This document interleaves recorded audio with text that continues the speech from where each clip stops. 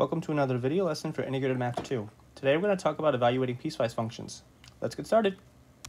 To begin with, let's go ahead and define a piecewise function. So a piecewise function is a function or a graph that is made up of multiple pieces of other functions or graphs. Each piece for a piecewise function is defined over a specific interval,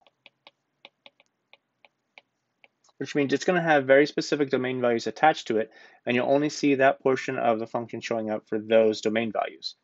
Let's look at an example. In our example here, you have a base cell phone plan that costs $75 a month, and it gives you unlimited talk and text and 20 gigabytes. For each gigabyte over 20, the plan charges you $5. So you can see that there are two different parts for this plan. Pay $75 if we have 20 or less gigabytes, which is why our domain for that portion is x is less than or equal to 20. And that's going to be represented by this horizontal portion here for our graph. And then at 20, something happens. We start getting charged a different amount. So we have a different function. Our function is now our base plan, $75 plus $5 for every gigabyte we go over $20.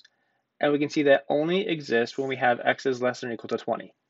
So looking at our graph here, we see that from 0 to 20, and then at 20 we start to increase because of that change in our plan. Knowing that we have two different parts for our plan, we want to make sure we're careful when we're evaluating our function. So we have two questions. How much would you owe if you use 32 gigabytes, and how much would you owe if you use 40 gigabytes? For those two questions, we want to make sure we're using the correct part of our piecewise function. So 32 being a domain value, I would first check my index to see which portion of my piecewise function I would use. So for my first question, 32 gigabytes, I'm going to compare that to my index. Is 32 less than or equal to 20?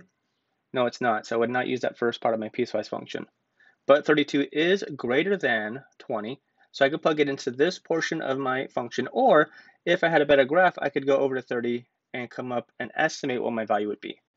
So we're going to go ahead and plug 32 into that function, which gives us 75 plus 5 times 32 minus 20.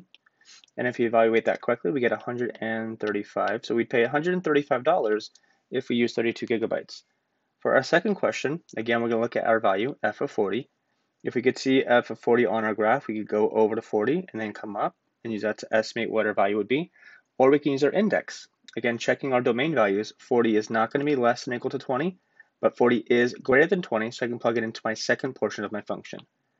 So to evaluate it, you would have 75 plus 5 times 40 minus 20, and we would get $175 for our plan. For our next example, we can see that we have three different functions. Our first function is f of x is equal to 6 for every x value that is less than or equal to 3. So there's nothing to plug in here. If we have an x value less than or equal to, to 3, then our value is going to be just 6. So it would be a horizontal line. Between negative 3 and 2, we have the function 2x plus 7. Again, we'd be plugging in x values between negative 3 and 2 into this expression. And then lastly, if x is greater than 2, we have the square root of x for our function. So again, we have three pieces, and depending on your x value, we're going to identify which portion of the function to plug it into. For our first example, we have f of 5. I'm going to go ahead and check my index to verify that I'm using the right portion of my function. So 5 is not less than or equal to negative 3. It's not between 3 and 2, but it is greater than 2. So I'm going to go ahead and use this third piece to evaluate that. And I would go ahead and plug it in, and I would get as my answer the square root of 5. For our second example, we have f of negative 3. I'm going to go ahead and evaluate that. Now, we want to pay close attention to our index here. This middle portion says x is specifically greater than negative 3.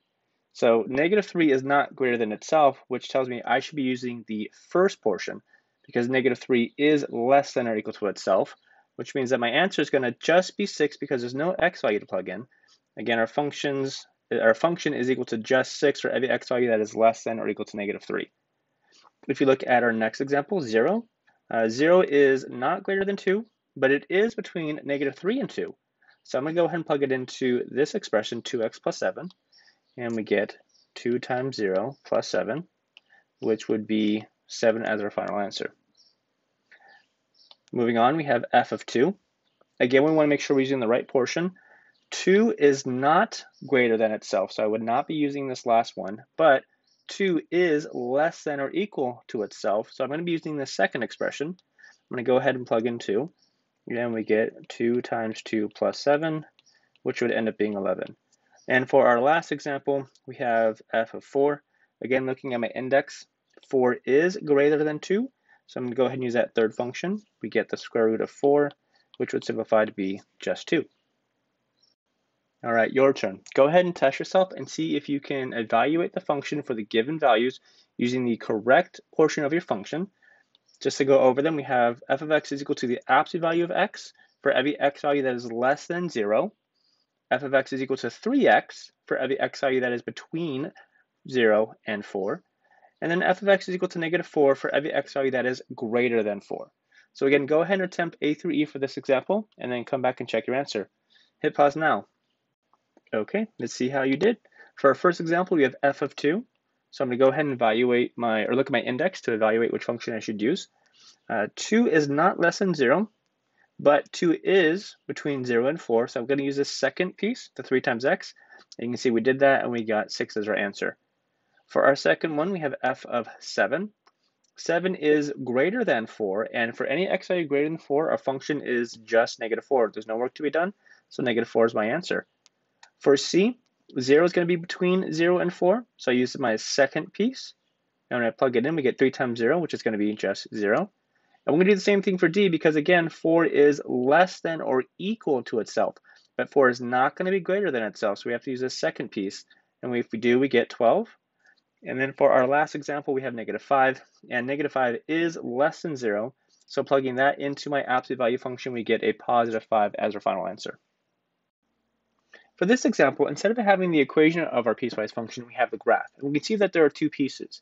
From x equaling negative 4 all the way to x equaling 1, we have this top piece. And then from x equaling 1 down to x equaling 3, we have our second piece for our piecewise function.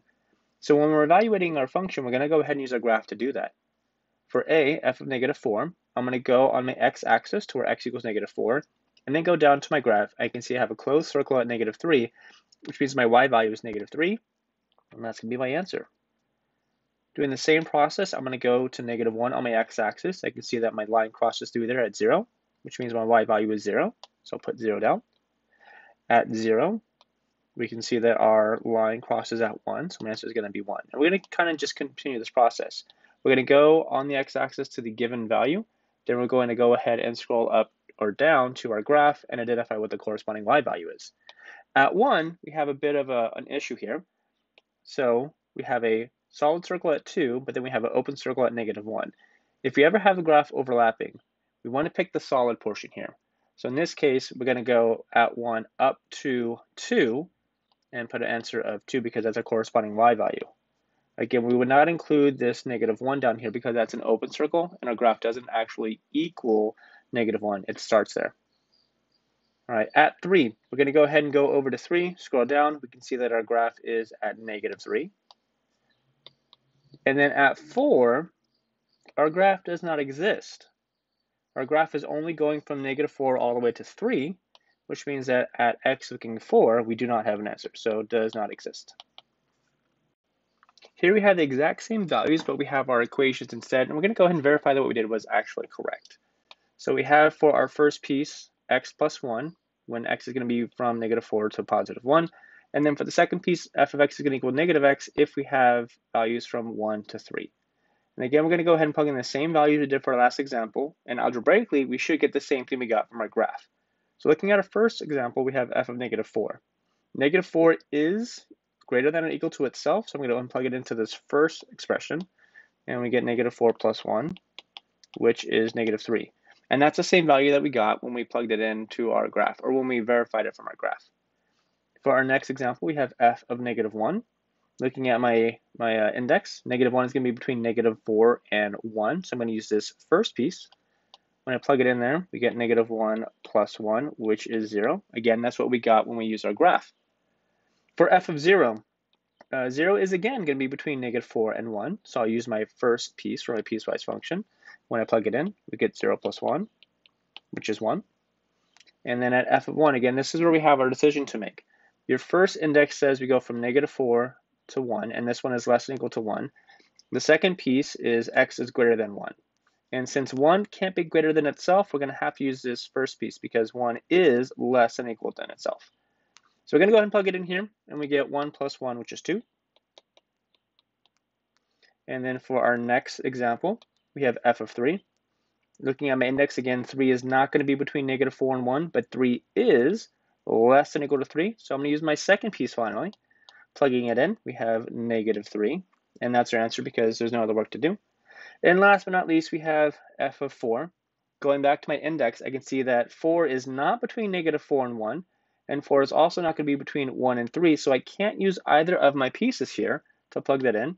So again, this is going to be does not exist because your function is not defined for that domain value. All right, one more graph here. Your turn. I want you to go ahead and challenge yourself. See if you can come up with your answers here by identifying the correct value on the graph, and then check back in to see how you did. So go ahead and hit pause now. Try and answer A through F, and then check back in and see how you did. All right, let's see how you did. We're going to go and check our answers here. So for the first one, f of negative 8, I'm going to scroll over to negative 8 on my x-axis and then go down. And I have a decision here. I have a solid circle or I have an open circle. Again, anytime you have this situation, you're always going to pick the solid circle. So we can see that this circle has a y value of negative 3, which is what my answer is. Just to reiterate, this open circle is a gap. The function is not defined for this portion here. Instead, we'd have to fill it in with our solid circle. Moving on at f of 2, we're going to scroll over to 2 and go up and see that we have a y value of 3. At f of 6, again, we have a decision to make. We have a closed circle and an open circle. For this open circle, again, it tells me the function is not defined at 6 for this piece, but it is defined at 6 for that top piece. So I'm going to go ahead and use this value, which again is going to be 5. You can see that's my answer there. For f of 9, if I scroll over to 9 and up, we can see I have a y value of 3. And for f of 10, if I scroll over, we see that we're on the x-axis, so we have a y value of 0. All right, that does it for our notes for this section. Go ahead and get started on the homework, and good luck.